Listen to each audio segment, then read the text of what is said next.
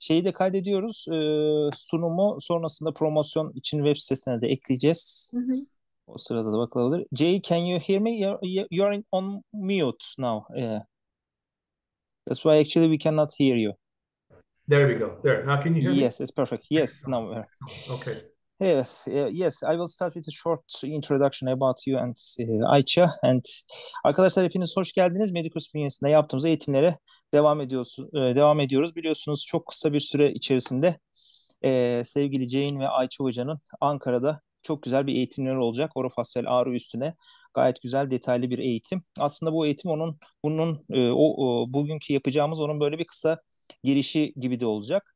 E, o yüzden de eğitimle alakalı, hastalarınızla alakalı orofasyal ağrıya yönelik hem Ayça hocamızı hem de C'yi bulmuşken aklınıza gelebilecek her türlü e, soruyu sorabilirsiniz. Söylediğim gibi e, sevgili C Hoca ve sevgili Ayça Hoca e, bizlerle birlikte olacak. Hmm, sözü ben e, yavaş yavaş onlara bırakıyorum. E, okay, Jay, uh, actually I can I do start introduction. Please also you explain your uh, just short uh, about yourself. Yes. and then also Miss Aichi also will say something about herself. Yes, thank you so much, Erdem. Well, everybody, my name is uh, Jay Shah, and I am a physiatrist, uh, a medical doctor, and I work at the National Institutes of Health and NIH in Bethesda, Maryland. And um, I'm part of a group that does clinical research on chronic pain, on myofascial pain, on sensitization. And I teach workshops all over the world. And I had the pleasure of meeting Aicha in 2018 at the Osteopathic Congress in uh, Berlin. And then she invited me to Istanbul, and then she invited me again. And now I'm coming back again to Ankara. So, what I will hope to show everybody is how important it is to understand the mechanisms of pain and the role of central sensitization in myofascial pain syndrome. Whether it's orofacial pain, neck pain, shoulder, back, it doesn't matter. All those are very important. Thank you. Jay e, kendini şöyle tanıttı az önce. Ee, kısaca ben özetleyerek anlatacağım. Ee, Jay NIH'de fizyatrist olarak çalışıyor. Biz e, onunla Berlin'de 2018 yılında Osteopati Fasya Kongresi'nde tanışmıştık. E, onun workshopunda. E, ve e, oradaki aldığım eğitimden sonra e, bir herhalde 3 saatlik falan bir eğitimde e, hemen tabii heyecanla döndüm o kongreden sonra. Ben klinikte kendi hastalarıma bunları uygulamaya başladım. E, ve ondan sonra C ile irtibata geçtim. Çünkü benim gerçekten e, klinikteki becerimi ve klinikteki başarımı bayağı bir arttırdı C'nin uygulamaları. E, ve İstanbul'a davet ettim. İstanbul'a e, şimdi e, Ankara'ya gelecek. E, İstanbul'a iki kez geldi. E, sanırım daha önce de Ankara'ya geldi ama e, bu e, Medikurs bünyesinde yaptığımız ilk eğitim olacak Ankara'da. Biz aslında miyofasyal ağrı çalışıyor Jay ve bu anlamda çok ciddi çalışmaları var. Scholar Google'a girerseniz Jay Shah ismini yazarsanız birçok çalışmaya ulaşabilirsiniz orada. E, ağrının objektif değerlendirmesini anlatıyor. Biz bu kursu biraz daha e, özelleştirdik orofasyal ağrı üzerine. Orofasyal ve boyun ağrısı aslında biraz bo boyun ağrılarında kapsıyor.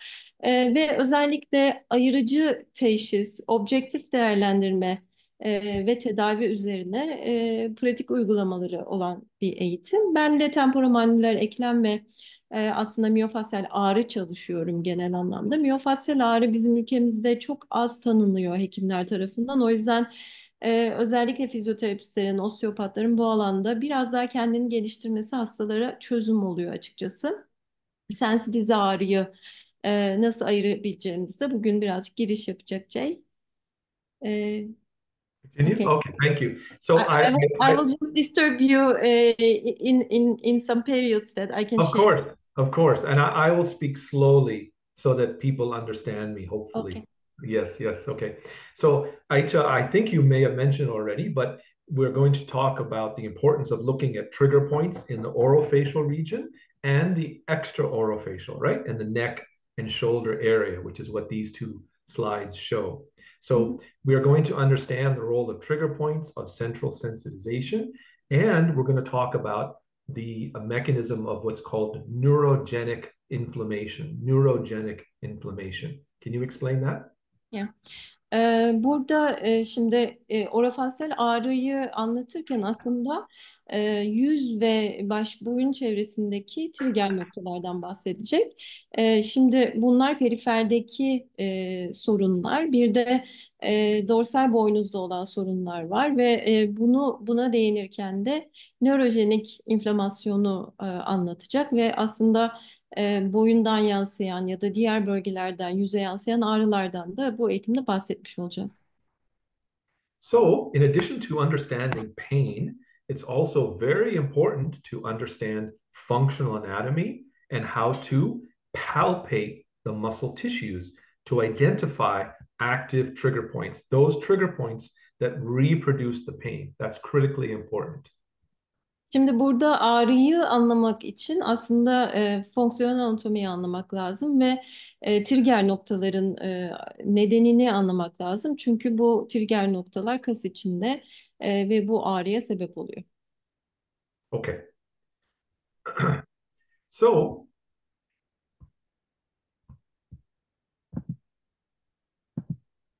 Okay. So what we're going to see is how central sensitization can activate trigger points and increase the receptive field of pain. So, for example, a myofascial trigger point in the suboccipital muscle, this can, through central sensitization and neurogenic inflammation, activate trigger points, for example, in the temporalis muscle. Ee, mesela e, burada e, sentral sensitizasyonun öneminden bahsedeceğiz. E, şunu demek istiyor e, örnek olarak oksi, e, sorry, sorry. kaslarda olan e, bir trigger noktanın e, baş ve yüz bölgesine nasıl yayıldığı ve orayı nasıl sensitize ettiği periferdeki e, sonuçlarını e, bilmek gerekiyor. Mm -hmm. All right, so let's look, uh, in English we say, let's look at it from 35,000 feet as if you're in an airplane. And then we'll start to go closer and closer and closer. We're going to understand the role of trigger points, central sensitization in chronic neck and orofacial pain, and how we can utilize advancement, advancements in the pain sciences with objective physical findings and needling strategies, manual therapy strategies, using electrical stimulation. There's a number of ways we can treat this type of pain. Şimdi en uzak noktadan başlayacak anlatmaya ve daha sonra giderek yakınlaşacak. Nasıl tedavi edilir? Kuru iğne ile tedavi edilebilir, manuel terapi ile tedavi edilebilir, elektrik modaliteleri kullanılabilir. Bu noktaları tedavi etmek için. Önce sentral sensitizasyondan başlayacak, daha sonra giderek perifere ve trigger noktaların tedavilerine yakınlaşacağız. So, uh, what we have to realize, of course, is that it was Travell and Simons who published their work looking at myofascial trigger points and their referral patterns. And they showed us how important it was to develop good palpation skills to identify active trigger points. Burak Ali. Doğru yatağa. Hadi bakalım. Işığı kapattık. Bırakıyorsun bunları yatıyoruz. Hadi bakalım.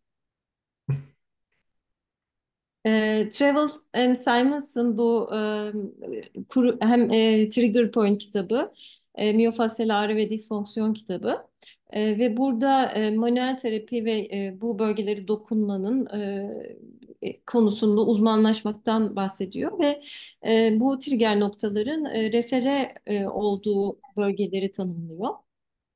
Now, what Travell and Simons did was uh, uh, establish the most common trigger points in their referral patterns, but this was done before we understood the role of central sensitization, the role of wide dynamic range neurons, how synaptic connections can start to open in the spinal cord and cause the spread of pain. So there's a lot of neuroscience that has come along to help explain what Travell and Simons observed.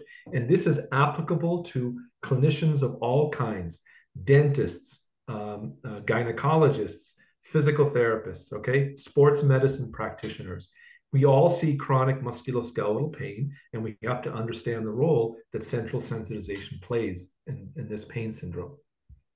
Şimdi bu kitap aslında tüm bu santral sensitizasyonun dinamik e, dinamik e, range e, e, hücrelerinin e, ve bütün bu e, aslında sinaptik bağlantıların anlaşılmasından çok daha önce yazılmış bir kitap. Dolayısıyla tamamen trigger noktaya odaklanıyor. E, ama şu anda bu e, bir neuroscience e, konusu ve çok e, ciddi araştırılıyor. E, ve bu e, neuroscience bilimi aslında trigger noktaların çok daha e, temelde spinal e, hücrelerden, dorsal boynuzdan nasıl etkilendiğini ve bu dorsal boynuzun e, yüklenmesine bağlı olarak bu e, bölgelerin nasıl aktive olduğunu e, anlat anlatıyor nörobilim şu anda e, ve bu da bütün aslında alanlara uygulanabilir. Yani biz burada orofasyal olarak sınırlandırdık ama e, mesela bir kadın doğumcu da pelvik ağrıyla karşılaşıyor e, diş hekimle karşılaşıyor ya da bir e, fizyatrist ya da e, fizyoterapist de herhangi bir durumda sensitize ağrıyla karşılaşabilir. So what you saw in this video while you were speaking was how pain can spread from an active trigger point to the neck, to the head, to the face, etc. And we understand how this can happen because of the following. Let's say you have an active trigger point in the deltoid muscle, which is innervated by the C5, C6 segment, right? Well, that trigger point is a source of persistent nociceptive bombardment into the dorsal horn neuron. Okay? Şimdi ben çeviri yaparken oynayan videoda bu refere ağrıyı gösteriyor. Buna bir örnek verecek yani nasıl boyna yayıldığını gösteriyor e, videoda. E, bu arada Jay'in görselleri ve sunum e, içeriği gerçekten çok e, açıklayıcı ve güzel. E, burada gördüğünüz deltoiddeki bir e, trigger nokta ve bu trigger nokta e, biliyorsunuz ki e, C5-C7 arasından e, inerve oluyor. E, şey deltoid ve e, bu inervasyonu e, bildiğimiz için de bu seviyelerdeki dorsal sürekli bir nosiseptif uyarıda bulunuyor. Now, what's important to realize, everyone, of course, is that patients also have visceral conditions, right? So let's say this patient also is having angina, let's say in the heart, right? From the heart. So together, nociceptive input can be coming from the muscle and from the viscera, and this information will summate on the dorsal horn. Burada gördüğünüz gibi e, bir ek olarak da bu duruma visceral bir sorun olabilir bu hastada. E, ve visceral sorunda yine aynı seviyelerdeki dorsal boynuza e, bir e, uyarı yollar ve bunun sonucunda dorsal boynuz e, artmış bir e, yük altında kalır. So we will see increased release of glutamate and substance P, and this will cause more postsynaptic excitation, which can then lead to increase in the receptive field of pain. Burada da e, gördüğünüz gibi bütün bu e, kimyasal maddeler e, daha e, ileride bir e, açılan bir e, sinaptik bir e, duruma sebep oluyor. Okay, now I want to share something very important. Aisha, you know this very well um, about the wide dynamic range neuron.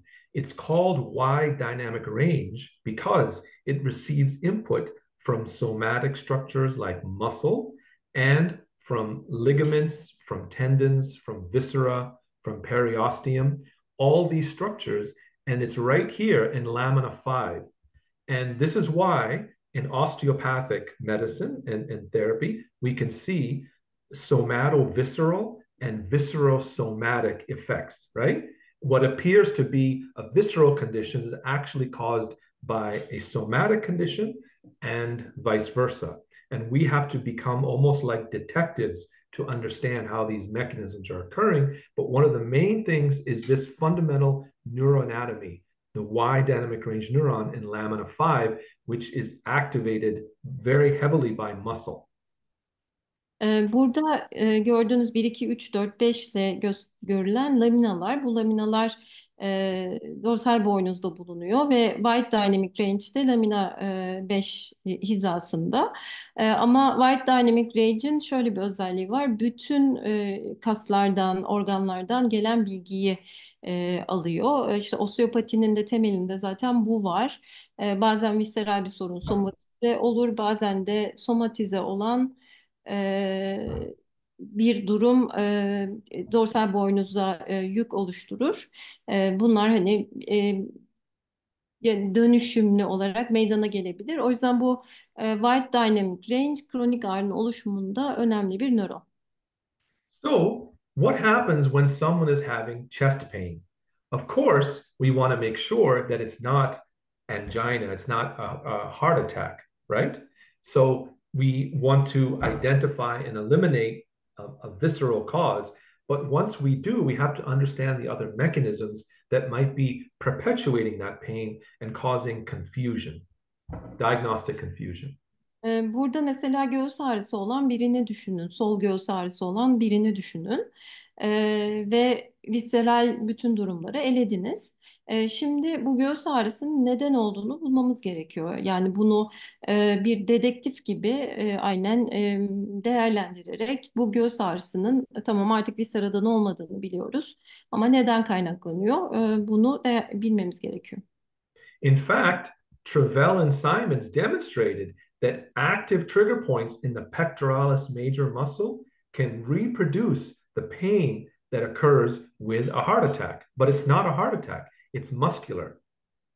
Ee, ve bu Travel'ın Simons'ın kitabında da pectoralis e, major kasının e, aynen bu angina pectoris'te görüldüğü gibi benzer bir ağrıya sebep olduğunu buradaki trigger noktaların söylüyor.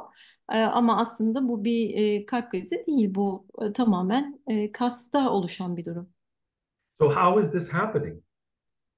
Peki bu nasıl oluyor? So trigger points, remember, trigger points are a persistent source of nociceptive bombardment that's going to sensitize the dorsal horn and it can activate these wide dynamic range neurons. Ee, şimdi e, bunun nasıl olduğuna bakacak olursak ve e, trigger noktalar sürekli dorsal boynuzu özellikle de e, wide dynamic range nöronunu e, bombardıman altında tutuyor. And as a Gelen- result, oh, sorry, go ahead. Sorry. Yes, sorry. Okay. Sorry. As a result, you have increased release of glutamate and substance P, activation of this postsynaptic neuron, and now expansion of the receptive field of pain. Bu e, bunun sonucunda da e, substance P salgılanıyor. E, ki, yani buradaki kimyasal maddelerden bahsediyoruz. E, ve postsinaptik nöronda bir e, uyar, uyarım oluyor ve e, burada gördüğünüz gibi bütün bu ağrı artık daha geniş bir yere yayılıyor. And unfortunately, so many patients who come in with chest pain, right, are told after they rule out a myocardial infarction, they say, Your heart is fine, but the patient continues to have pain, right? So, in the patient's mind, they are still having a heart attack and they think the doctor is missing something. So, what we're going to learn is how these mechanisms also apply to orofacial, neck pain, uh, etc. Şimdi burada tabii göğüs ağrısından örnek veriyor ama bunu biz baş ve boyun içinde göreceğiz. Visceral bir kaynağı yok ve yani baş ve boyun bölgesinde de benzer sorunlar oluyor. Burada bir visceral kaynak yok artık biliyoruz ama hasta ağrı çekmeye devam ediyor ve bu ağrının nedeninin hala e, kalp krizi olduğunu düşünebiliyor ve e, doktorların bir şey kaçırdığını düşünebiliyor e, ve bu eğitimde bunu nasıl değerlendirebileceğimizi göreceğiz. So let's say you find a trigger point and you treat it, okay? You find that trigger point and you treat it. Diyelim ki bu trigger noktayı buldunuz ve tedavi ettiniz. The patient may still have pain. Why? Because they are sensitized. So not only do they not have a problem in their heart, now you've also treated their myofascial pain. I mean, their trigger point, you deactivated it with a needle, with electrical stimulation, manual therapy, but the pain persists. Why? And this is because of central sensitization, as we'll show you now. Bazen klinikte de görüyorsunuz. Bu ağrının bu pectoralis major'daki trigger noktasını tedavi ediyorsunuz ama ağrı devam ediyor. Bunun nedeni ise işte sensitizasyon, o bölgenin artık sensitize olmuş olması. So what happens, Aisha, is we see new connections actually forming in the spinal cord, new connections. And this is what can lead to the activation of pain and the persistence of the pain, even after you treat what you think is the pain generator. Bütün bu bölgeyi tedavi ettiğiniz halde yani ağrıya sebep olduğunu düşündüğünüz trigger noktaları, kastaki sorunları tedavi ettiğiniz halde ağrının geçmemesinin sebebi ise artık yeni bağlantıların oluşmuş olması ve bağlantılardan da bombardımanın devam etmesi. Now, how do you know they're sensitized? Well, all you have to do, as you remember, Aisha, is a pinch and roll test, right? Where you are picking up the skin and then rolling it paraspinally. And this is a test for allodynia. So the, the patient, wherever the patient has discomfort or pain, that means that those segments are sensitized. So in this patient that you see here, he's likely sensitized in his C5, C6 segment. And we can identify that and then we can treat the segment. E, sensitizasyonu e, nasıl anlıyoruz? Sensitizasyonu aslında pinch and roll testiyle anlıyoruz. E, burada öğrenciler de vardır belki ben e, ufak bir ekleme yapayım. Alodini dediğimiz şey ağrısız bir uyaranın ağrıya sebep olması. Yani normalde bir e, deri dokusunu tuttuğunuz zaman e, burada ağrı oluşmaz. Ama ağrı oluşuyorsa bu alodinidir. Yani bu da zaten oranın sensitize olduğunu gösterir bize. E, ve test ettiğimiz zaman e, bu göğüs ağrısı olan hastayı C5-C7 seviyesinde bir sensitizasyona da rastlıyorsak e, e, işte o zaman segmentel bir sensitizasyon var ve bundan şüphelenebiliriz.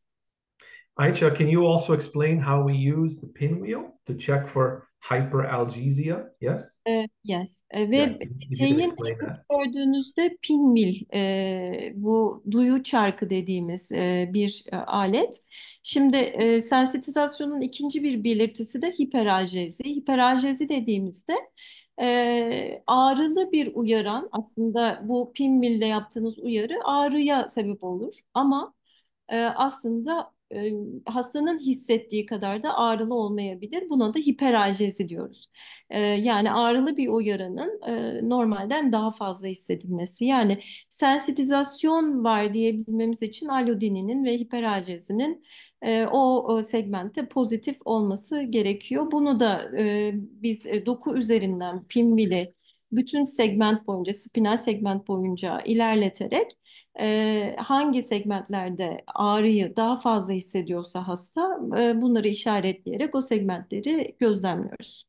And I don't know if you, I didn't say it, maybe you, you said it, Aicha, but I also want to emphasize that where you see allodynia, you almost always see hyperalgesia. It, it, they both represent spinal segmental sensitization, central sensitization, and then we can treat that, right? We can treat that by either using what's called a paraspinous block, um, and I'll show you how that's done, but we can also use uh, acupuncture needles, if you can explain how we can also use TENS, right, microcurrent to treat the sensitized segments, to eliminate the allodynia, eliminate the hyperalgesia, eliminate the pain. And so now the pain threshold goes back up. If you could explain all that, because I know you do it in your clinical practice. So please explain. okay. Şimdi burada değerlendirdiğimiz dokuları da tedavi edebiliyoruz. Tedavi etmek için işte hekimlerin yaptığı bu perispinal bloklar, işte bizim yaptığımız kuru iğne uygulamaları ya da biz işte Dolphin diye bir cihaz kullanıyoruz. Bu Dolphin biraz önce Jay'in elinde gösterdiği aslında içinde bir e, polarizasyon var ve e, hücrelerin polarizasyon, depolarizasyon e, süreçlerinde e, etkili oluyor ve buradaki sinir hücrelerinin e, normal bir e, seviyeye gelmesini yani e, depolarize olmasını e, sağlıyor ve bu depolarizasyonda aslında bu bölgedeki e, hassasiyeti azaltıyor. Yani e, segmentel bir bombardıman olduğunda ve sensitizasyon olduğunda o bölgede aslında oradaki e, yükün e, arttığı ve ağrı e, eşiğinin düştüğünü söyleyebiliriz. E, ağrı eşiği düştüğü için de artık her yerde çok şiddetli bir ağrı yaşar bu hastalar. Alodini, hiperalgezi genelde bu segmentlerde kesişir. Hep aynı yerde buluruz. Ee, ve bunu tedavi ederken de biz e, bu cihazlarla, bu yöntemlerle aslında yapmaya çalıştığımız şey oranın ağrı eşiğini tekrar arttırmaktır ki ağrıya daha az tepki versin. And Aicha, did you mention that the, the, the, the structure that we're targeting is right here, the medial branch of the posterior primary rami, which you can feel. All you have to do is palpate the spinous process, move your finger just laterally, and then you can identify. And that's where we use electrical stimulation. That's where we use our acupuncture needle. And I know as an osteopath, that's how you also do manipulative treatment as well. So if you want to, did you talk about that or maybe just No. I, I didn't say. Okay, Ee, please, please, yeah.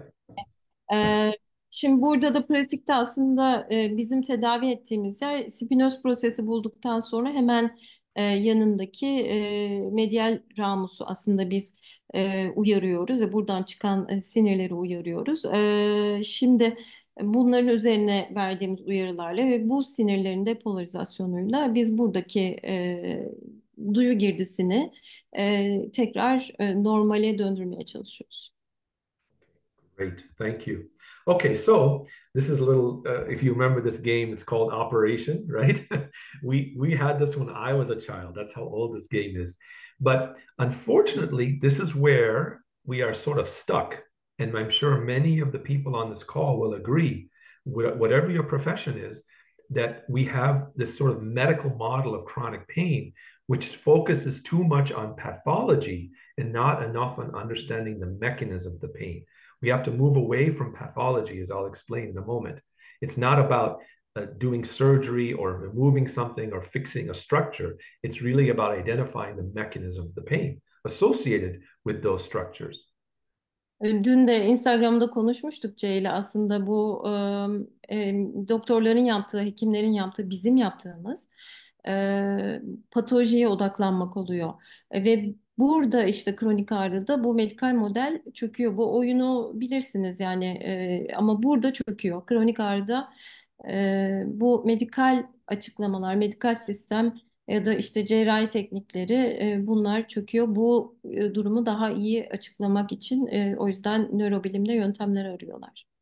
I'm sure many of you have seen patients who have had unnecessary surgeries, right? Let's talk about orofacial pain. A patient has unrelenting, unremitting pain in their teeth, right? And they try all kinds of treatments and all kinds of injections and uh, what have you. Uh, and then someone finally says, let's take out the tooth. And they remove the tooth, but they still have the pain there. Why? Because they had a trigger point, for example, in their masseter muscle, right? And then you treat the trigger point and the pain is gone, but now the tooth is gone as well. So we have to prevent, we have to do primary and secondary prevention to identify um, the mechanism of the pain so that patients do not undergo unnecessary and many times harmful procedures. Ee, bu benim de pratiğimde çok fazla yaşadığım bir şey. Ee, özellikle diş hekimleriyle birlikte işte bu eğitimleri almamız çok önemli. Ee, çünkü e, çok gereksiz diş çekimlerine varan e, sonuçlar doğuruyor. Orofasyal ağrılar, e, trigger noktalar, sensitize ağrılar, e, yüz bölgesine yayılan ağrılar olabiliyor. Bazen de kişiler dişte hassasiyet hissedebiliyor, dolgu yapılıyor ve bu düşündüğünüzden çok daha sık oluyor aslında. E, dolgu yapılıyor e, ya da işte en sonunda diş çekimine kadar giden e, durumlar olabiliyor. E, ama burada aslında olan şey sensitize bir ağrı ve e, çok zarar veriyor bu e, bu tarz cerrahiler, diş çekimleri hastalara. So if we look at this, these four uh, graphs, we can see here, this is the medical model, right? As pathology increases, symptoms increase. And then when you intervene by uh, affecting the path, decreasing the pathology, the symptoms go down. That works in many conditions, but it is not uh, something that happens with chronic pain. Why? Because we know that patients with very little objective pathology can have uh, uh, enormously um, terrible symptoms of pain, anxiety, stress, depression, etc. And vice versa, patients who have lots and lots of pathology in the joint and the spine might have little or no symptoms. So, how do we correlate what we see? We have to understand the mechanism. So, these two are really important to understand when you see patients with chronic pain. E, kronik ağrıyla gelen hastalarda aslında burada gösterdiği medikal modeli bir e, ağrının e, patoloji azaldıkça semptom da azalıyor ama kronik ağrılı hastalarda böyle olmuyor. Bunun yanında hastaların birçok problemi var. E, mesela temporomandibular eklem problemiyle geliyor bize hastalar ama hastanın e, diğer eklemlerinde de problemi var. Pelvik ağrısı var, bel ağrısı var, e, İBS gibi bağırsak problemleri var, baş ağrıları var, kulak çınlaması var. Yani burada e, sorunun neden kaynaklandığını iyi analiz etmek gerekiyor. Okay, so we can see lots of patients. Just to my point, I want to re-emphasize again, and you've seen these patients, right? You see their X-ray, their MRI. They have osteophytes. They have degenerative disc disease. They have um, neuroforaminal stenosis. Many, many things that then all of us, then the doctor or the clinician might say, the surgeon might say, oh, that's why you're having pain right there. But we have to remember that that image or that x-ray could have been there for five years 10 years 20 years right? But the pain has been much more recent. How do we explain that right? So this is where we have to get away from looking only at structure and focus on the mechanism and how it contributes how nociceptive bombardment from any of these structures can contribute to central sensitization and neurogenic inflammation, which is what I'm going to show you now. Um, I, I want to ask something before translation. Yeah. yeah. Uh, for this image, uh, so there's a degenerative disc, but uh, there's a really um, the um, there are there's the uh, foramen and uh, the nerve is uh, affected. So can, can be can be affected too, right? Yeah. Mm -hmm. if there is spondylolisthesis or something like that, so um, should we also consider the sensitization? Oh, that, that that's that's exactly my point. We should look at sense any of any structures. I think Aisha, there are 11 structures that are nociceptive in the spine, right? Any one of those structures can be sending bombardment into the segment. So it's not that it's not the pathology by itself, it's the sensitization that it contributes to. So if you treat the sensitization many times, you can alleviate the pain and you can put off treatment, you can put off surgery, etc. Eventually, they'll probably need surgery if it becomes so bad, and then they get true, you know, foraminal stenosis, which is pressing on the nerve or pressing on the spinal cord, etc. But th- that's exactly the point I'm making. We yeah, shouldn't.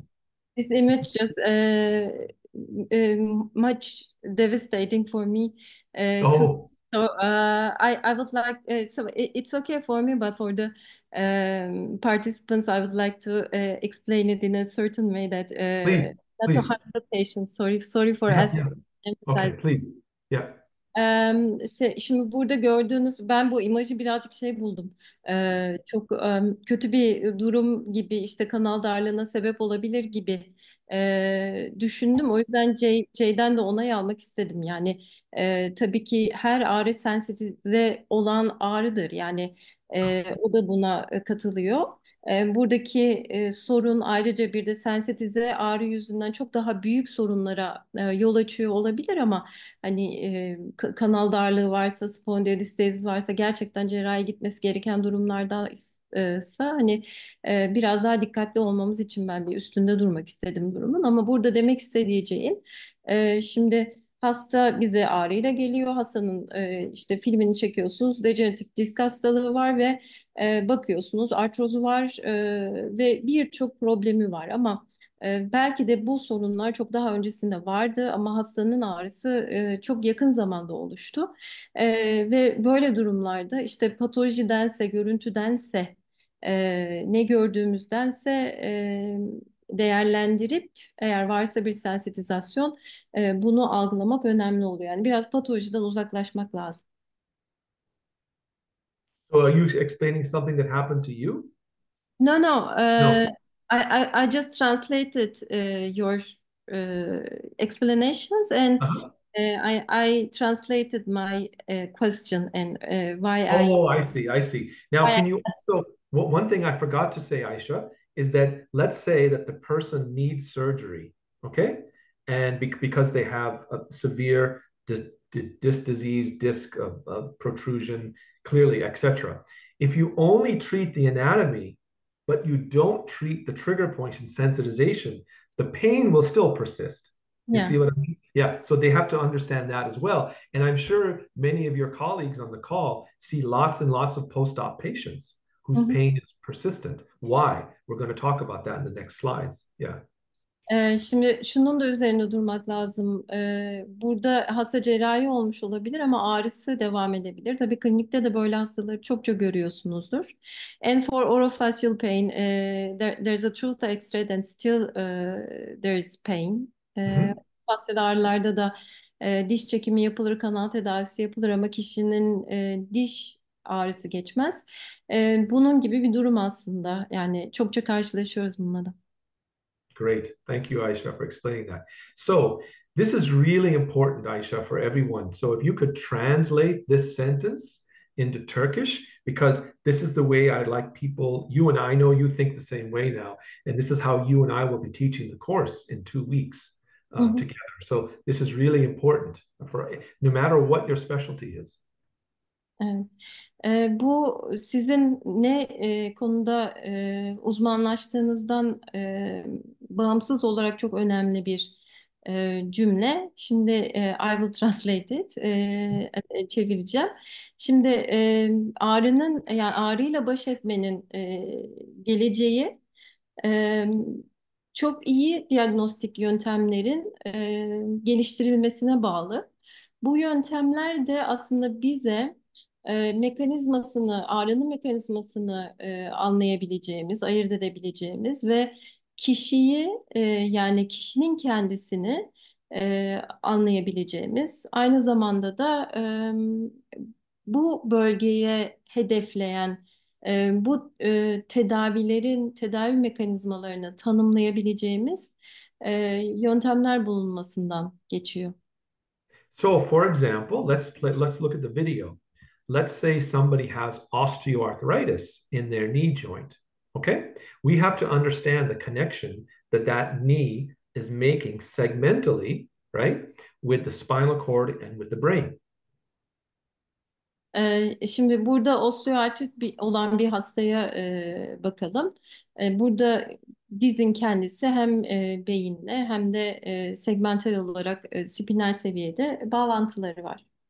So that persistent bombardment coming from the knee joint, it could also be a trigger point. Let's, but now it's a knee, the osteoarthrosis is now going to sensitize the L3, L4 segment.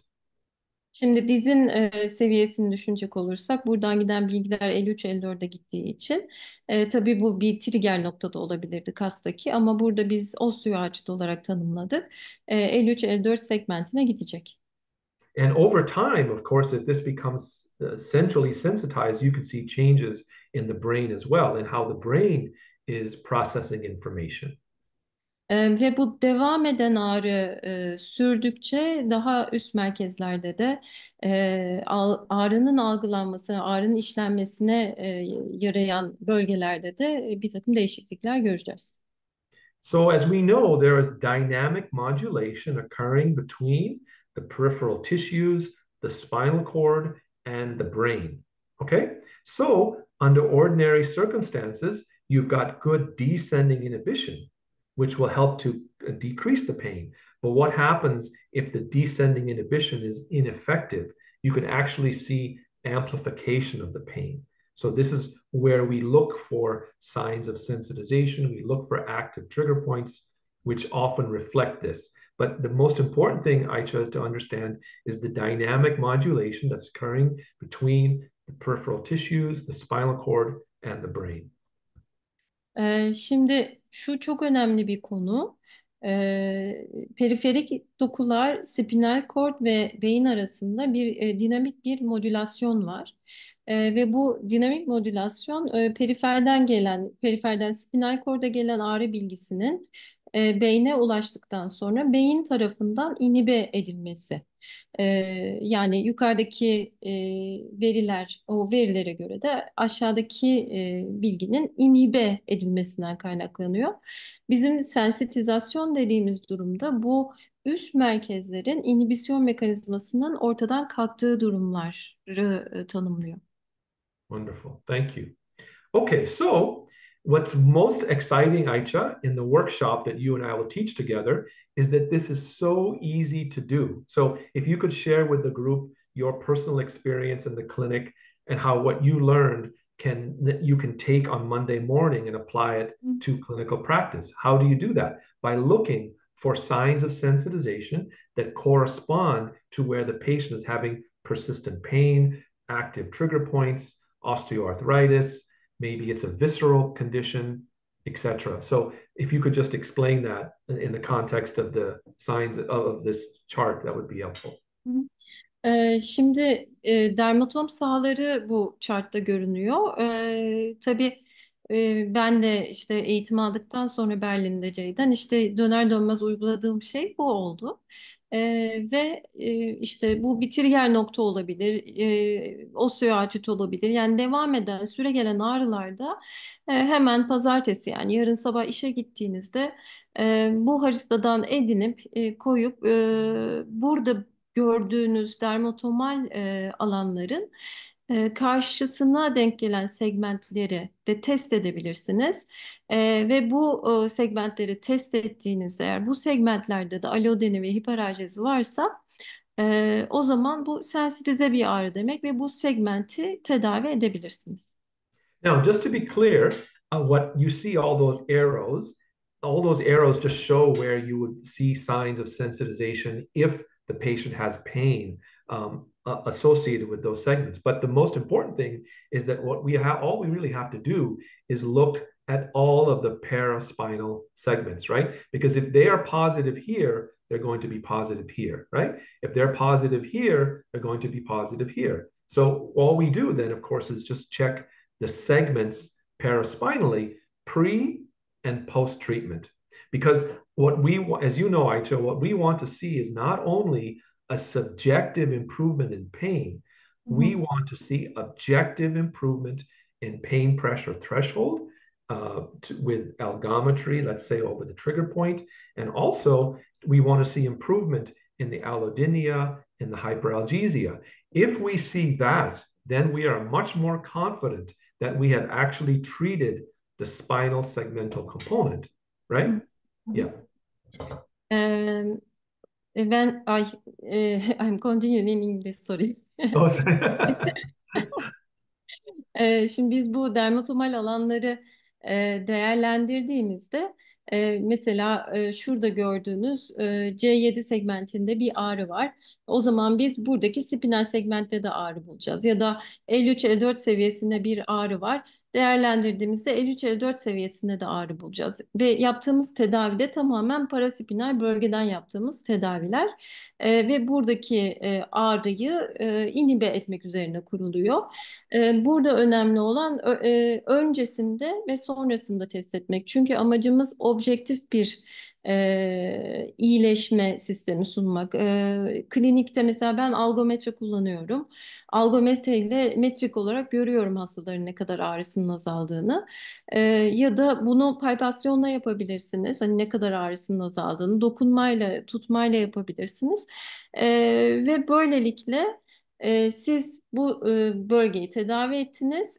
And also you mean the peripheric testing uh, don't you? Well, we, we, we can look in the periphery for at the trigger points, but the segments we can do all segmentally, paraspinally, because it'll be the same thing. If, if they're sensitized, what I was saying, Aicha, if they're sensitized at C6, C7, C8 here, or over the hand, will mm-hmm. definitely be positive C6, C7, C8 here. So we don't need to do it in both places. We can just I mean, I mean yeah. the pre-check and post-check. Uh, so if, if you find a pain in here, Mm-hmm. Uh, you find a pain in here and you treat mm-hmm. it here and you will uh, post check on here.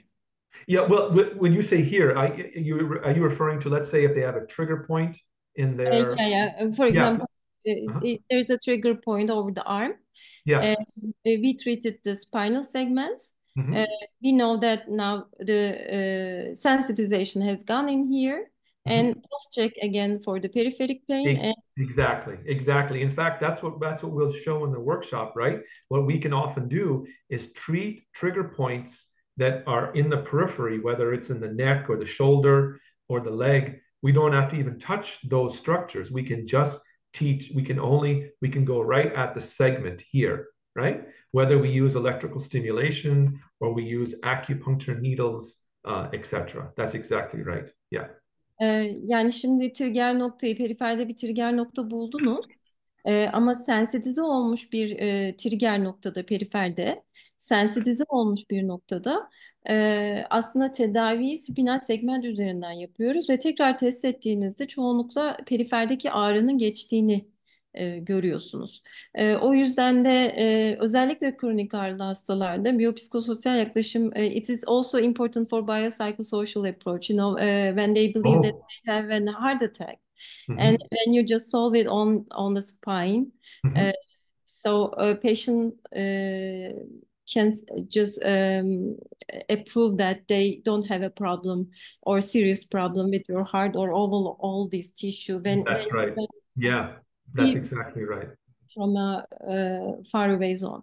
Mhm, Ee, mhm. yani e, burada işte biyopsikososyal açıdan da önemli olduğunu e, düşünüyorum ben. Çünkü hastayı e, daha uzak bir bölgeden tedavi ettiğinizde ve onun e, aslında sorun olduğunu düşündüğüm bölgeye dokunmadığınızda ağrısı geçtiğinde hastalar kendilerinde çok ciddi bir problem olmadığına da ikna oluyorlar ve iyileşme yolunda aslında psikolojik olarak da hastaları desteklemiş oluyorsunuz.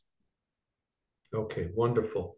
So, what we have to remember is that many, many things influence pain because pain is a perception, right? So, Ronald Melzack of Melzack and Wall gate control theory came up with the term neuromatrix when he talked about all of the things that influence perception somatosensory, visceral, any pathology, certainly how much attention you pay to it, right? Culture, experience, personality, etc., autonomic, endocrine, immune variables. And then what we are focused on today, and then in the workshop, of course, is sensitization, neuroplasticity, and trigger points. So this is a way of thinking about it, everybody, to really understand how dynamic the process is of perception. And pain is a perception. We have to figure out what is creating that neuromatrix of pain. Ee, bu ağrının nöromatriksini e, ve bu paterni oluştururken aslında e, ağrının bir e, algı e, olduğunu, ağrının bir his olduğunu e, çok iyi kavramamız gerekiyor. E, buradaki e, sanırım slaytta gösterilen e, şeyler aynı olduğu için anlıyorsunuz. E, burada bizim yoğunlaştığımız ve e, iki hafta sonraki workshop'ta da yoğunlaşacağımız sensitizasyon e, servikal sinir sistemi ve burada oluşan plastisite ve e, trigger nokta e, uyaranlarının yarattığı algı olacak. What what what what's so impressive to me, Aicha, and everybody is that as far back as 1990, Melzack recognized how important sensitization, neuroplasticity, and trigger points were then. Now we understand much more, but he knew that just based on his reading um, and some of the early information. This was well before we had all of this uh, science and all the studies that have started, you know, that have come out since then. E, ağrı açıklamasını biliyorsunuz. Aslında 1990'larda kendisi e, bu sensitizasyona ve e, trigger yani plastisiteye birazcık değinmiş ama şu an çok çok daha ötesindeyiz onun sunduğu bilgilerin. E, tabii o, okuyarak öğrenmiş bunları. Biz e, deney yaparak öğreniyoruz. So I want to give everybody two examples of cases where you have to remember that nociception and pain are two different things. You can have activation of the nociceptor, but if you don't have a certain threshold, um, all you will feel is like crude touch. You won't feel you won't feel pain, right? So you can have no nociception without pain and as you're going to see in this example, you can have pain without no nociception. That's important to understand. Burada şu iki kavram nociception ve ağrı algısı. Bu burada bir örnek verecek şey birazdan. Yani bazen e, nociception olur ama yani bir ağrılı bir uyaran olur. Ee, ama oradaki ağrı eşiği o kadar yüksektir ki e, siz o ağrıyı hissetmezsiniz. Ee, ya da bazen nociception olmaz. Yani ağrılı bir uyaran yoktur ama çok şiddetli ağrılar hissedebilirsiniz. Bu buna yönelik bir örnek verecek. So, Aicha, can you just read this case starting here? A 29 year old Yeah, I know, I know, this case. Yeah, I know yeah, from Lorimer Moseley. uh, Oh, you know the case. Okay, if you could just explain it then. Explain the case. Oh, yeah, yeah, yeah. Okay. Okay. If you can explain it then. Ee, şimdi e, burada bir şey var. Ee, if you want, I can just uh, explain whole Sure. whole Sure. tell tell me when I should show the picture. Okay. Okay. Uh, when you should show the picture. Yes, when? Uh, okay, before I explain the reason uh, explain the Uh, whenever you, uh, maybe you explain it, then I'll show the picture. Yeah. okay. No, but but don't don't don't tell them what happened. Ah, Just- okay. Yeah, Okay, don't I will just uh, uh, be in this in this limits. yeah, okay. yeah. Okay. Tamam. Ee, şimdi bir gün acil e, kliniğine bir tane e, bir e, şey inşaat işçisi gidiyor 29 yaşında Ee, ve bir 15 santimetrelik bir çivinin üstüne basıyor. Ee, ve özellikle bu çivinin çok çok küçük hareketleri bu çıkarmaya çalıştığında e, küçücük hareketleri bile inanılmaz ağrı yaratıyor. Ee, burada e, gördüğünüz gibi ayakkabısının içinden geçmiş bir çivi. Ee, ve e, hastayı e, fentanil ve midazolam gibi e, işte sedasyonlarla e, bu çiviyi çekmek için e, sedasyon uyguluyorlar. So did you explain that this man was screaming in agony? He was in so much pain. Yani e, o kadar büyük bir ağrısı var ki işte Evet. ancak sedasyonla e, rahatlatabiliyorlar yani bu o çiviyi çıkarabilmek için. So when when they took took out the nail and they removed the boot, what they found was that the nail went right between the the, the big toe and the, the the toe next to it. So his his skin was not even touched. The nail went right between. So clearly there was pain without nociception. E, ayakkabıyı çıkardıktan sonra ise asıl e, olay orada kopuyor. E, bir bakıyorlar ki aslında çivi hiçbir dokuya zarar vermemiş. Sadece işte baş parmak ve e, işaret parmağı arasından e, böyle geçen bir çivi. Yani hiçbir yeri delmemiş. Sadece orada duran bir çivi ve e, biliyoruz ki bu burada bir nosiceptif durum yok ağrıyı oluşturan. Right. So no pain. I mean, no nociception, but severe pain. Right. Okay. So now if you could read this next example. Okay. Um, ah, yeah, you you mentioned it. Yeah, yeah. No, I, I feel so. Ah, okay. Ee, şimdi 23 yaşında bir e, şey inşaat işçisi. E, bu sefer de bir e, çivi tabancasıyla bayılacağım az sonra. Bu, bu beni çok etkiliyor nedense. E, iş yerinde kullandığı bir e, çivi tabancasıyla kendini e, vuruyor. Ama bir bakıyor işte orasına burasına Aa, hiçbir şey yok. Ee, yani ondan sonra evine gidiyor. Ama e, bir gün sonra çok küçük bir diş ağrısı başlıyor ve e, işte diş etleri şişiyor. Ee, ve işte e, dondurma falan yemeye başlıyor işte bu şişi indirmek için. Ee, ama geçmiyor ağrısı ve e, ödem artıyor falan. Ee, tekrar e, diş hekimine gidiyor e, ve e, X-ray çekiliyor. So, so I think everybody can see clearly, clearly there was nociceptive activity, but he did not feel any pain in that immediate moment. So he assumed that the nail had gone somewhere else. And this was a true case where he had the nail removed. So it just shows you we have to always remember there's a there can be a mismatch between nociception and pain. Ee, bu da aslında işte ilk söylediğimize denk geliyor. Ee, nosisepsiyon ve ağrı arasında e, çok fazla bir bağlantı yok. Burada da, e, X-ray'de de gördüğünüz gibi çivi e, tam gözünün yanından e, girmiş kafatasına.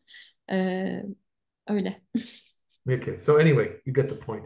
Okay, so now what I want everyone to understand is how uh, we can look at trigger point central sensitization, as I'm going to show you now, neurogenic inflammation, because it is central sensitization and neurogenic inflammation, which can really help us understand some of these mechanisms of pain that occur somatoviscerally, viscerosomatically, somatosomatically, visceroviscerally, right? And how we can then identify what is the most likely mechanism, right?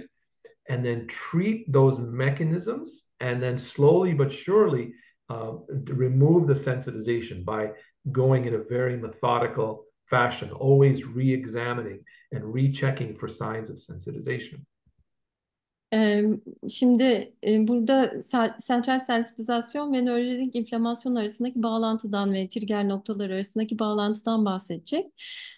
Nörojenik inflamasyon işte bir visceral dokunun tekrar somatize bir ağrı oluşturmasına ya da visceral bir dokunun başka bir viscerada ağrı oluşturmasına e, ya da işte e, somatik bir ağrının başka bir bölgede somatik bir ağrı oluşturmasına e, gibi birçok mekanizmayla e, ağrıya yol açabilir ve bu nörolojik inflamasyon e, bunlardan kaynaklanabilir. E, bizim yaptığımız işte tekrar değerlendirerek, yeniden yeniden değerlendirerek sorun neyse en başta onu tedavi etmek için hem objektif bir değerlendirme ve e, objektif bir tedavi yöntemi. Okay, so now let's look at it uh, in by understanding what uh, that when you have active trigger points, when you have active trigger points, it's associated with sensitization, neurogenic inflammation, and limbic system dysfunction. Limbic system is, like you said, Aicha, that part of the brain involved in the biopsychosocial, the emotional component of pain. And we know that active trigger points are associated with all of these processes. And this explains why many patients have persistent pain even after you treat the trigger point if you don't address the associated central sensitization and limbic system dysfunction. aktif miyofasyal ağrılarda işte bu tetik noktalar e, sensitizasyonla, nörojenik inflamasyonla ve limbik sistemin disfonksiyonuyla e, hepsiyle ilişki içinde. E, ve bu yüzden de aslında o bölgeyi yani aktif miyofasyal ağrının olduğu bölgeyi tedavi ettiğiniz halde e, iyileşmemesinin sebebi de bu. E, sensitize olmuş olması e, ve burada limbik sistem işte biyopsikososyal komponentlerde bahsettiğimiz gibi oldukça önemli. So what we did, our original work was to show that active trigger points have elevated levels of inflammatory mediators, pro-inflammatory cytokines. They also have elevated levels of substance P, CGRP, and a more acidic pH. And if you could just explain, all the group has to understand is that these biochemicals individually or collectively can activate the nociceptor, sending increased signals into towards the spinal cord as we were discussing earlier. Okay?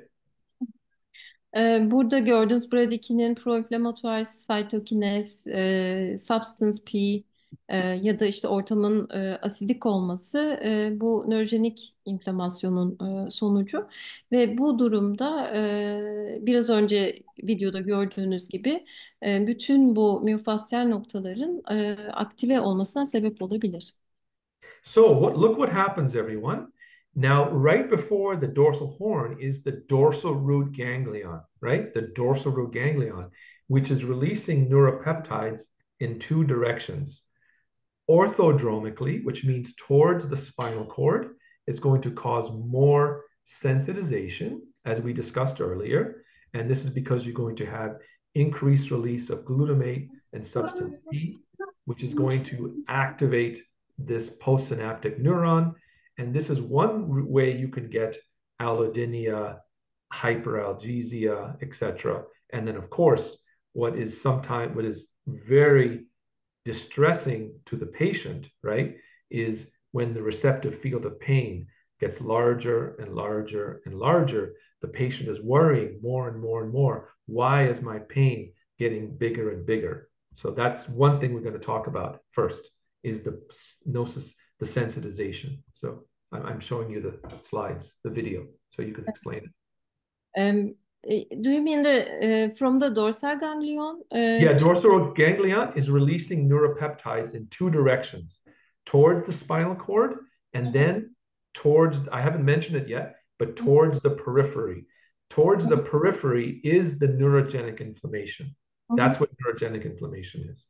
Yeah, and we'll talk about that. First, I wanted just to explain what's happening at the level of the dorsal horn. Yeah. Ee, bu e, dorsal boynuza giden uyarılar dorsal ganglion e, dan hem e, omurga boyunca e, hem de perifere e, işte e, bombardıman yapabilir ve e, aslında sensitizasyona sebep olan da e, bu. Yep. Okay, so now let's look at the antidromic. So what happens is the dorsal ganglion is releasing substance P and CGRP. These are called neuropeptides. And what do they do? They will make the trigger point more tender. Okay. But Ayça, please explain to everybody it's not just the trigger point. Why? Because these neuropeptides are being released along a specific segment. In this case, it is C6 to C8, right? Mm-hmm. So the innervation of the long thread, the latissimus dorsi uh, muscle, right, is innervated by C6 to C8. So now any structure that is innervated by C6 to C8 can become sensitized, including the dermatome, um, the myotome, which means also the triceps muscle can be affected, the extensor forearm, right, can, can develop myofascial pain or tenderness in these muscles. You, you understand. Can you explain that to everybody?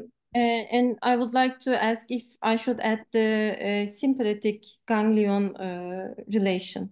On the autonomic? The autonomic? Yeah, this is the motor sense. motor. This is the, this is the sensory. This is the sensory, yeah. right? The yeah. motor levels, but also for C6 and C8, mm -hmm the first thoracal uh, autonomic ganglions can right. um, That's a great point. Yeah, yeah, yeah, yeah. Please add that too. Right. E, şimdi e, bu dorsal e, gangliondan e, latissimus dorsi'yi düşünecek olursak yani bu tek bir segmentin ganglionu değil. İşte latissimus dorsi de bir e, periferik sensitizasyon var, e, trigger nokta var pardon.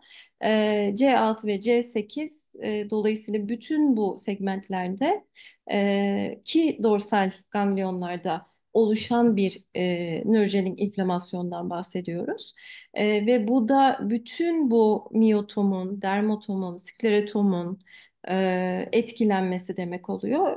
Ben de şunu eklemiştim işte C'ye ekleyebilir miyim diye sorduğunda. E, bir de bizim bildiğimiz C, C, C6, C8 arasında e, miyotom, dermatom, sklerotom etkileniyor. E, and also the vascularity is affected. E, exactly. Right. E, vasküler sistemde etkileniyor bu bölgede. Bir dolaşım bozukluğu oluyor. E, buna bağlı olarak da e, T1, T4 arasında özellikle otonom sistemin ganglionları e, bizim C6, C8 arasından e, inerve edilen bu bölgedeki vasküler yapıları da düzenliyor. Onların e, dolaşımını da düzenliyor. O yüzden e, aslında bu daha da genişleyebilir. So I was telling that it, it can be uh, widened to T4.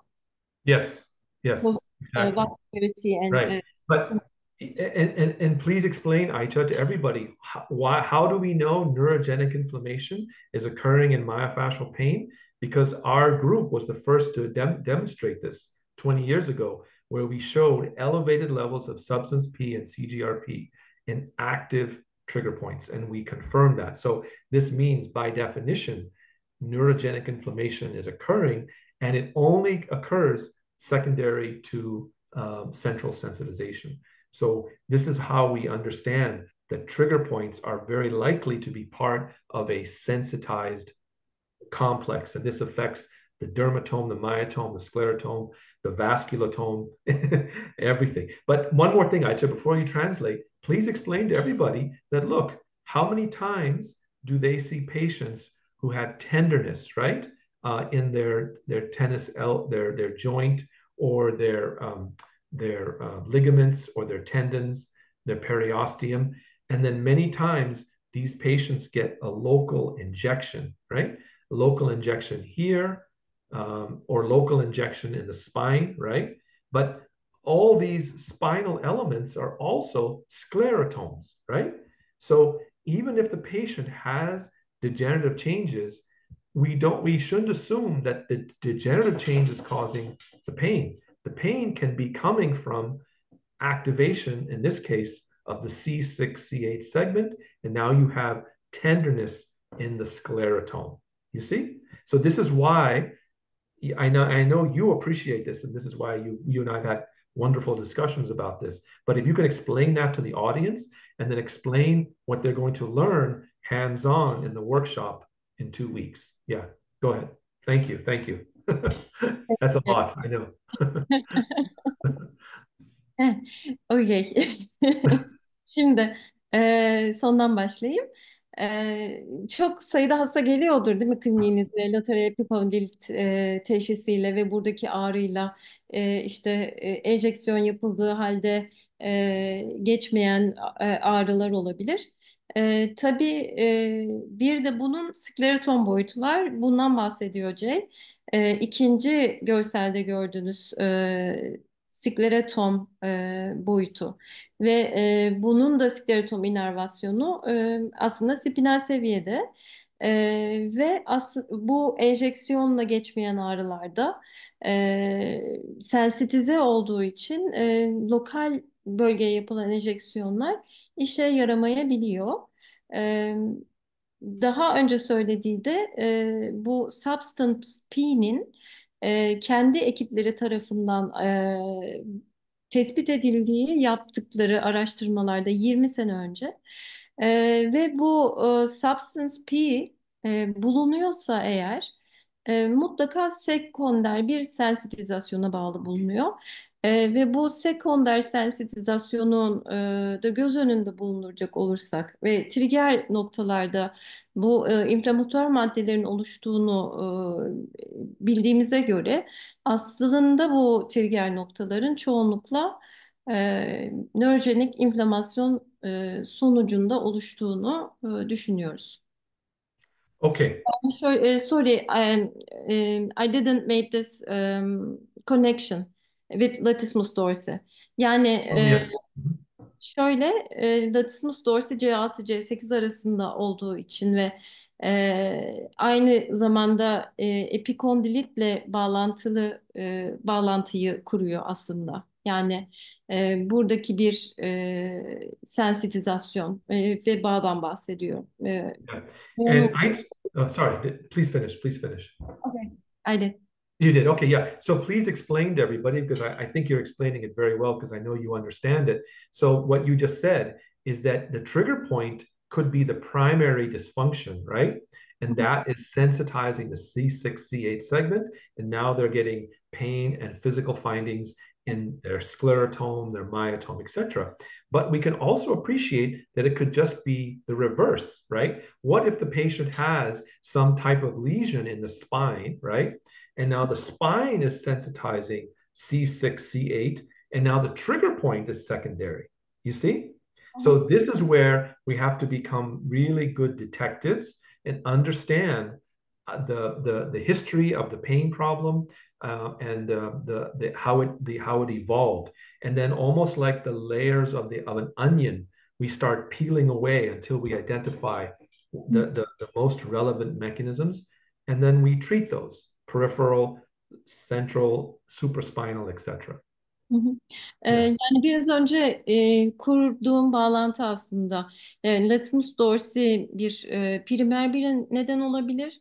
ve latissimus dorsi sebebiyle e, lateral epikondilit gibi bir şikayet olabilir ya da tam tersi e, omurgada bir dejenerasyon olabilir. Ee, ve bu omurgadaki dejenerasyona bağlı her yöne yayılan bu bombardıman ve ağrılı durum olabilir. Ee, o yüzden bir dedektif gibi diyoruz. Yani e, soğanın kabukları gibi böyle soya soya soya. Ee, bu iki hafta sonraki eğitimde de aslında pratikte yapacağımız bu workshop pratiklerinde e, uygulayacağımız şey bu aslında. And, and can you also explain, Aicha, in the workshop, one of the things that we always observe is so many of us have these um, episodic but persistent musculoskeletal and myofascial dysfunction that because of, of our occupations, right, what we do.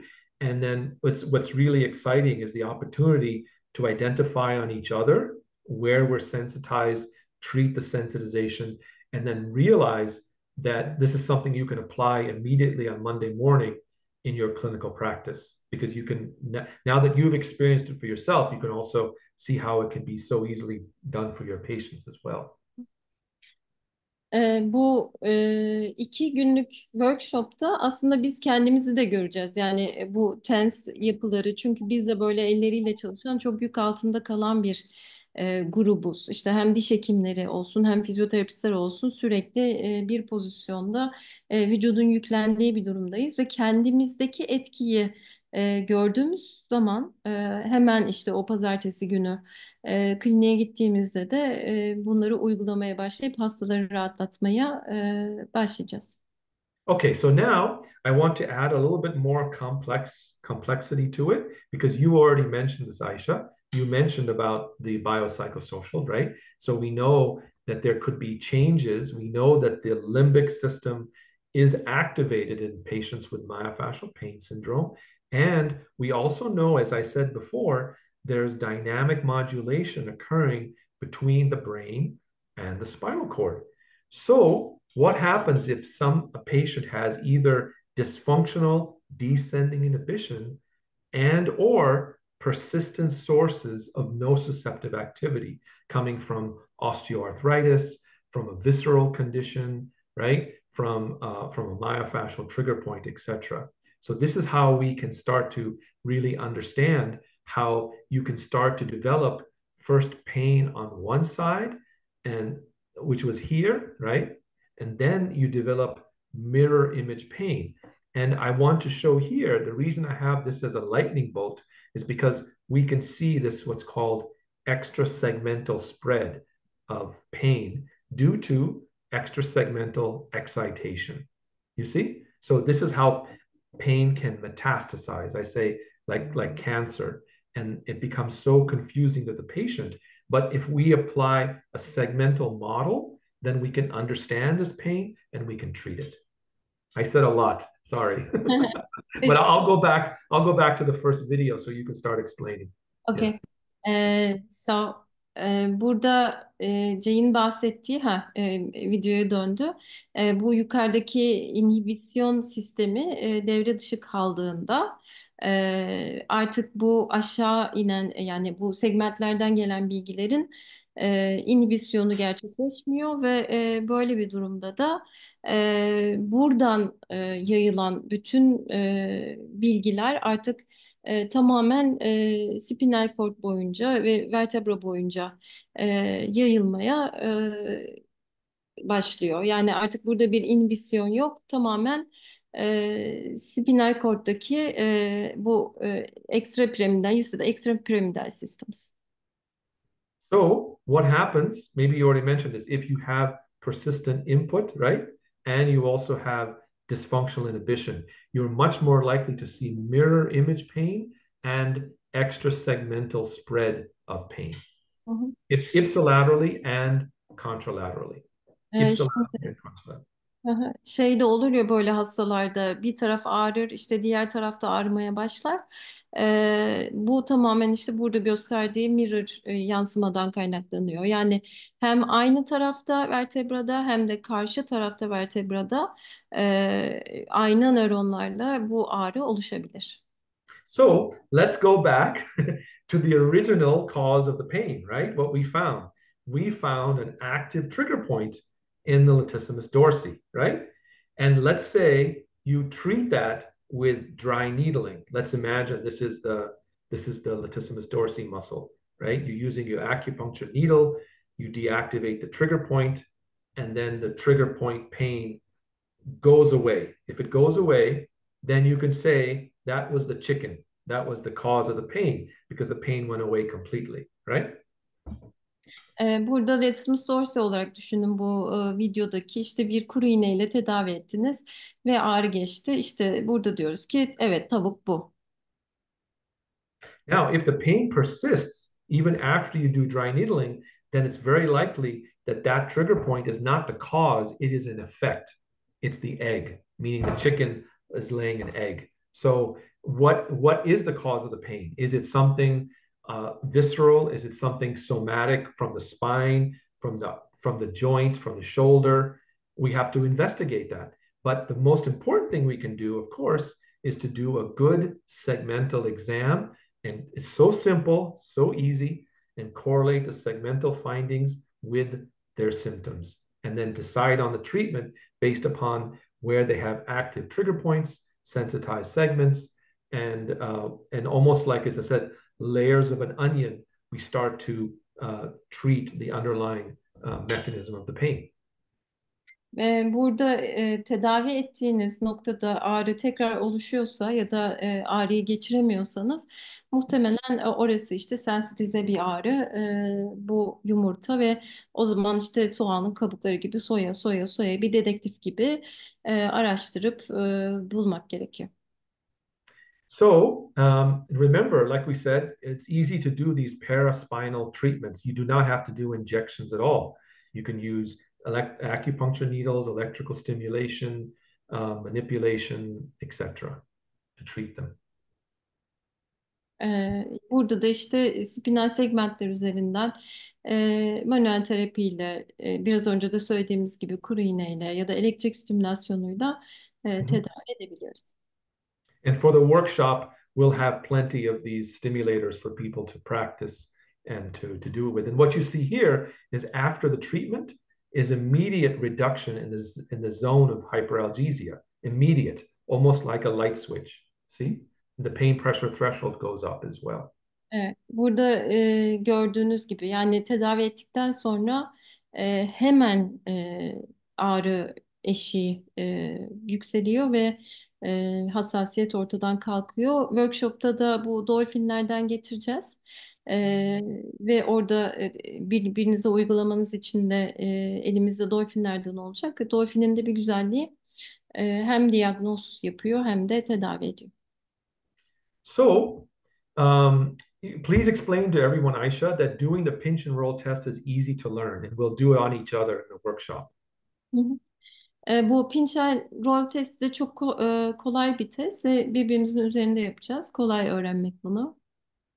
Sometimes the physical finding is right there. You see, Ya you don't you don't have to pinch; the roll is there. e, bazen de işte böyle çok belirgin oluyor. Yani dokunmanıza gerek kalmadan oradaki e, gerginliği görebiliyorsunuz. okay, so now let's look at orofacial pain, and let's look at the more common trigger points that cause pain in the orofacial region. And as I said, we're going to understand the role of central sensitization as well. Yeah, and, and I really appreciate Jay. There is 65 uh, participants listening. It's Wow. coming. It's You know, Aisha, Aisha, I was going to ask you, I am perfectly fine to keep going. I, I, I didn't realize we were going to do translation, which Yeah. only doubles or triples the time. So if you're okay, I'm okay continuing. Uh, tomorrow is a work day and it, it's becoming uh, very Late. late. Okay, what, what, what time should, what, what time should we start? Uh, 11 maybe, maybe we can sum up uh, in five or 10 minutes because uh, 10 minutes? Okay. I think Let's- let's- everyone uh, has has a work uh, in the Yeah. Monday morning, so it is very late in here. Yeah, yeah, I understand. Okay, okay. So Maybe we can sum up and have some uh, have some questions because question, that's a great idea. Let I me guess just, I guess we totally just co I, I just everyone uh, totally covered uh, the material uh, uh, as far you know uh, yeah, that was Okay. It was really explaining. So thank you very No, much. yeah, you thank you for explaining it so well and just again showing how all of these muscles can cause uh, orofacial pain, right? And we wanted to say that. Okay, so um, let me let's go out of here. Let me just see if there's any other uh, nice summary slide that I wanted to show. This is just going to show you all the different. Um, And you know, I didn't realize how time goes. I Uh, know, I know, I know. Yeah. always So- happens when I'm listening to you. so, Aisha, do you think it might be helpful just to use this example and then take questions? Because I think we have a lot of physical therapists in the group, right? Uh, I'm not sure about the uh, participant content because uh, we, we don't know uh, who is in. We just Okay. link. Well, so Do you? Well, it's up to you. Either either I can take question and answer, or we can show this this little slide here. I guess we can just uh, cover up with the slide uh, just uh, to uh, repeat, uh, just To uh, repeat, yeah, yeah, yeah, yeah. Perfect. This, this, this, and uh, yeah, yeah, this, this will this will take five minutes. Five minutes. Yeah. Okay. So let's say you have a person who has pain in their lower leg. Okay, uh, here and in their heel. Okay. Now these concepts also apply to the neck and shoulder pain. It- it's the same thing. I just want to use this as an example. So um, you um, and then you also then first the patient develops pain here, then they develop pain in their sacroiliac joint, right? So we want to rule out radiculopathy, we want to rule out um, uh, uh, sacroiliitis, etc. We rule those out. We find when we open the trigger point manual, there is a trigger point that refers pain in these two locations.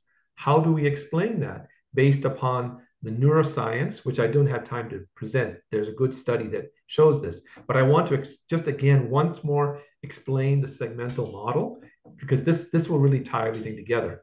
So let's say, and I'll, I'll let you translate in Turkish after I finish, if that's okay, Ayça, and then I'll yeah. So let's say what what we see here is an active trigger point, right? And this active trigger point in the gastroc soleus is sensitizing the L5S1 neuron. That is why there is spontaneous pain. Initially, there is no pain in the sacroiliac joint. Remember earlier, I was talking about how you can open up new connections in the spinal cord. You can open them up, and that's what I'll, we'll talk about in Ankara. But what happens is you get these ineffective synapses through the release of the neuropeptides, which open up a neighboring neuron and sensitize it. You sensitize it. When you sensitize that neuron, its threshold is lower. And now all of a sudden, the patient develops pain here.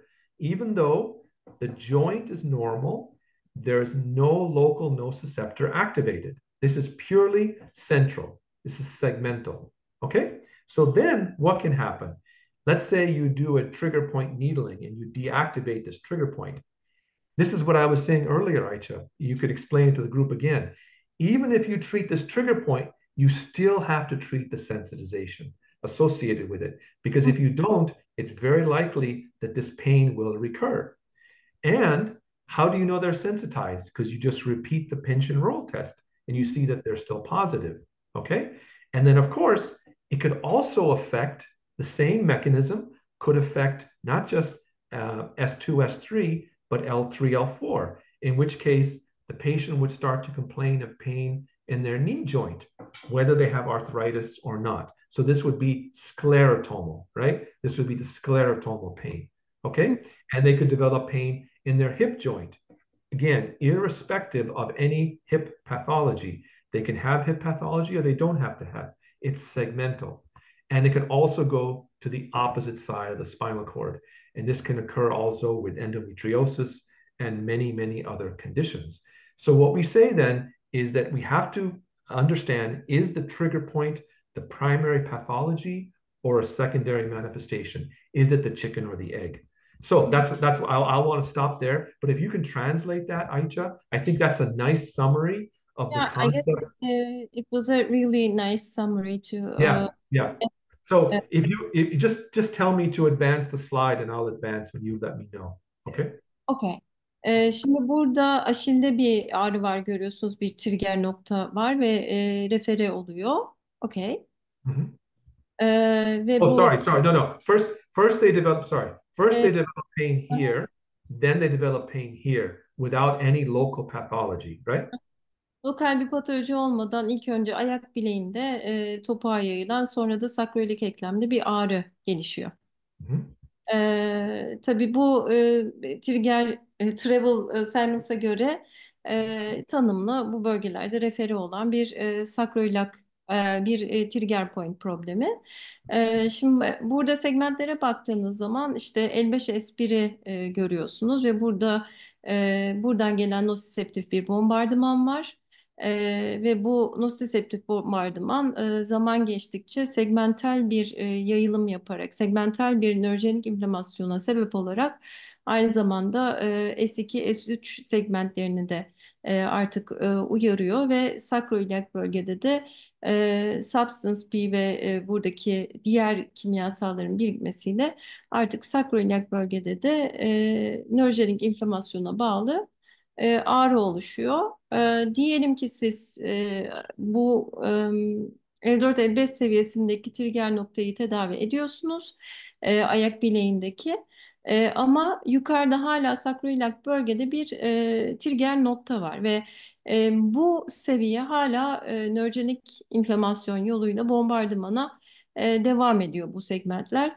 Dolayısıyla e, siz her ne kadar tedavi etseniz de nüks oluyor. Ee, ve bu nüksün sonucunda da e, tekrar bu bölgede ağrı oluşuyor. So, Ee, so Aita, Aita, sorry, this all we're doing here, this is not the trapezius. We're just, I'm just trying to show dry yeah, needling. yeah, I know, I know. Yeah, yeah, okay.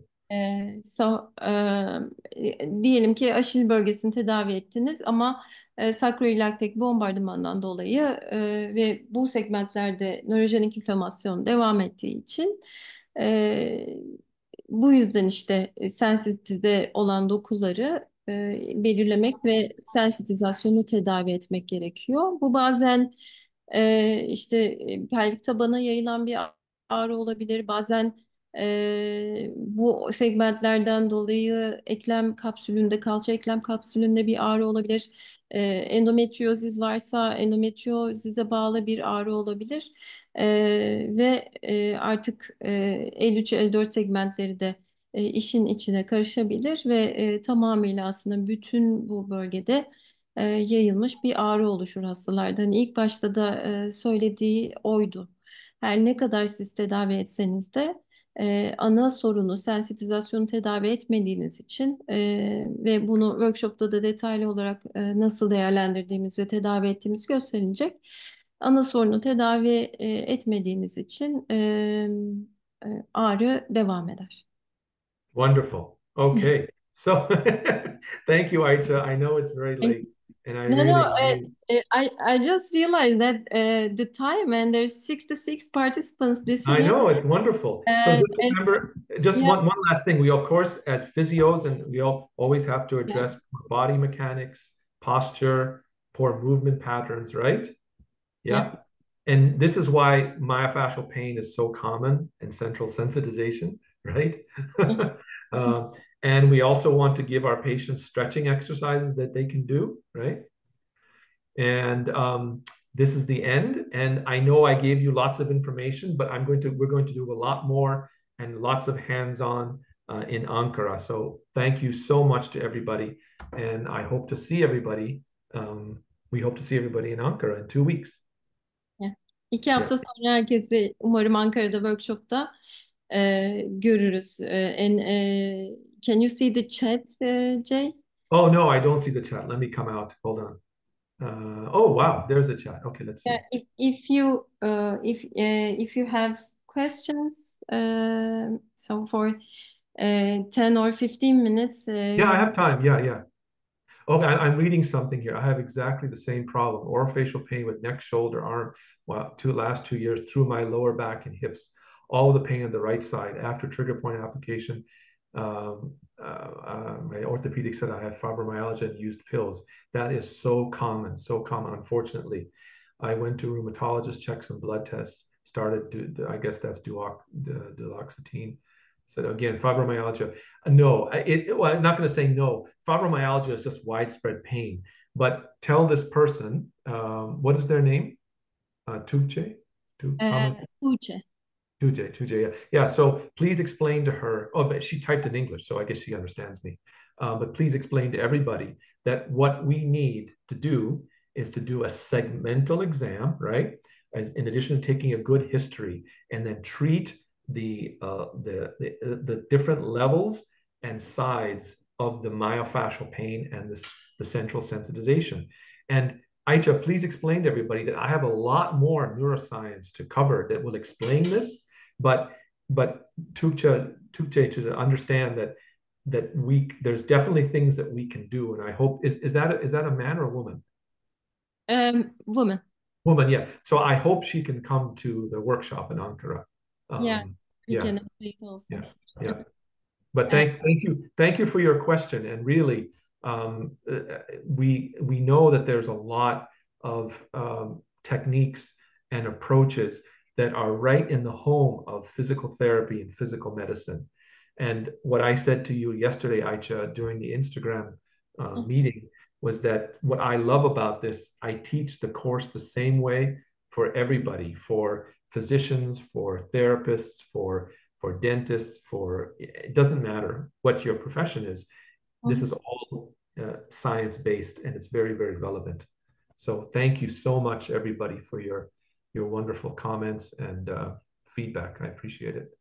Uh, and I will answer Elif Hanım uh, uh, that we will have this uh, workshop uh, just specified on orofacial pain and uh, with the neuroscience and uh, practical evaluation and objective evaluation. So uh, you can be there too if you Eh, if you eh, oh yeah, Ayça, please explain. The workshop is open. Anybody can register. Mhm. um, and um, it's open to everybody. So I I I, I am very very um, I I know what is happening in Turkey from my colleagues there, as you know as well. Yeah. Unfortunately, unfortunately, the physiatrists are trying to exclude physical therapists, and that's not right. I I I, I completely disagree with this, and that's why you know, from my philosophy is let's teach and learn from each other. That's my philosophy. That's what is uh, beneficial for the patients. Right, exactly. What can benefit the patients and help help us as clinicians, right? We can treat our pain as well. That's what is so exciting about the workshop. Yeah. Are we going to be doing the workshop in Erdem's clinic? Is that where we're going to be? Yeah, yeah. Oh, wonderful. Uh-huh. Wonderful. Yeah. Uh, so. Medical exercise pre-therapy. Yeah. Uh, So, uh, I, I guess physical therapists, dentists, and um uh, yeah, yeah. Any any physical therapists, dentists, uh, doctors, if they want to come, anybody, anybody can come. any any sort of uh, medical area. huh? Absolutely, any medical area, yeah, because everybody sees musculoskeletal pain, right? Yeah, but Uh, I guess there's a uh, there, there's a uh, is from um, um, medical exercise, so uh, they don't have uh, this uh, regulation. Uh, he- she's a trainer, so uh, But but she can she can still join, right? She can still register. They cannot uh, have this dry needling and uh, Yeah, yeah, but we we don't have to do the, the, the if they don't want to do dry needling, we can do But other it, things. it will cause a problem for uh, us, you know, for our uh, association. Mhm. So we can only uh, let medical doctors and physiotherapists. Oh, really? Oh, I didn't know that. Okay. Huh. So Hmm. But she's saying I'm oh I'm a trainer. Okay. Yeah. Hmm. they don't have this uh, pathology education or some sort of like that. So I see. and it will cause a problem for us in Turkey. Okay, I understand. What what did Elif say? What is and how do you translate that? Yeah, uh, it is specific to orofacial region. Course will be specific on orofacial region, Neck and, and neck and cervical, neck and orofacial pain. neck Yeah. and orofacial region, and also uh, we will show applications, uh, treatment manual therapy applications, uh, and uh, vegetative uh, system regulation applications. I will show them, and Jay will show how to Yeah. objectively uh, evaluate and treat uh, with dry needling and electrical stimulation, and how to identify. Uh, I, I am putting my email address here. So if Tuğçe wants to contact me, I'd be happy to meet with her individually um, to you know to give her any information if she wants to have a Zoom meeting, ask any questions or anything like that. So I'm I'm happy to help her any way I can. But I'm glad I'm glad it did help. Yeah, Yeah. it it is basically the uh, presentation is basically on the uh, neuroscience, uh, Elif Hanım. And uh, this will goes with uh, orofacial pain and uh, relations, evaluations specifically. So uh, we will do it on the workshop. That the part that Yeah. you're interested in, we will Yeah. do in the workshop. But but Ayça, please explain in Turkish what's so what's so interesting is that it's the clinical application of the neuroscience. You Mhm. see, and and it's it's that what I find so exciting is you know when whenever you hear whenever you and I teach together is Mhm. that we have an opportunity to really help our patients understand why they're having their pain and then treat it non-pharmacologically. Now, some patients need pharmacology. Don't misunderstand me. Some need it, but most patients don't need it if you treat the mechanism of the pain, peripheral, segmental, supraspinal, uh, etc. So, yeah. No, this is wonderful. I I'm really grateful to you, Ayça. Thank you for staying And late. thank you, Jay. Yeah, Yeah. thank And you. thank you, thank you, Erdem. Thank you, Erdem, also. Erdem is here also. Maybe uh, he has some words to say. Yeah, please, Erdem, if you want to say anything, please share with it um, for everybody. He's you're I don't know if he's speaking, but he's muted, or if he's there. But anyway, are there any questions? Any questions? Uh, we can take questions. Yeah. Uh, question. They they all ask the question by chat, Jay. So uh, if you want, we can close. But first, I I'm calling Erdem. Okay. Uh, so Is it possible to be able to find some time for missing headline or a facial part? I don't know what this question means. Uh, I I just explained to her uh, Okay. that uh, we will we will do it on workshop. Workshop. If if Oh, I see. Got it. Got it. Okay. she's Okay. interested, she wants uh, a second webinar to explain the orofacial pain. Hmm. and uh, the rest of the presentation. But uh, I mentioned that if uh, she's interested in uh, orofacial pain, uh, I, I mentioned that individually, specifically, we will uh, evaluate the trigger points and uh, sensitization uh, just uh, related with orofacial pain. So, and Right. we will show this practical application and uh, as I just mentioned about the autonomic system, I will uh, I can explain the autonomic Yeah. uh, regulatory techniques and uh, vagus techniques and um, this uh, sympathetic uh, innervative technique. So um, That's fantastic, Ayça. Fantastic. Wow, it's going to be so great. yeah, it would be so great uh, to be uh, together, Jay. I hope uh, to see you in Ankara and thanks a lot for uh, being here. No, thank you. And thank you, everybody, for staying so late. It's really a pleasure. And um, um, this, it, as I told Ayça yesterday, for me, this is a, a labor of love. How do you say that? How do you say that in Turkish, Ayça? Uh, Labor. Labor of love, e, bu işine aşık olmak. Being in love with, with the occupation. With the occupation, right. Yeah. Yeah. So, Okay. Thanks Thank lot. you. I, I couldn't reach Erdem. Maybe. Uh, No worries. No worries. No, thank you. I was still, still so many people so late. Okay. Yeah. Well, thank you. Hope, hope to see you in two weeks. Okay. In two weeks. Thank you, everybody. Good night. Night. Bye bye. Bye. Thank you. Have a nice day. You too. Thank you, Ayça.